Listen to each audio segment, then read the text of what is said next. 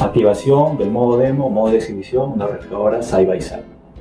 Para esto necesitamos abrir la puerta del conservador, presionamos el botón del, mantenemos presionado el botón del conservador y tres veces express freezer. El indicador de off me indica que la máquina está en modo de exhibición. Solamente se iluminará, pero no empezará el funcionamiento del compresor, no funcionarán los demás componentes. Solamente es para que se pueda exhibir. Y si esto lo encontramos en la casa del cliente, le decimos que haga el mismo procedimiento. Cuando en el display se muestra la palabra off, hay que desactivar. Abrimos la puerta del conservador, presionamos el botón del conservador y tres veces freezer.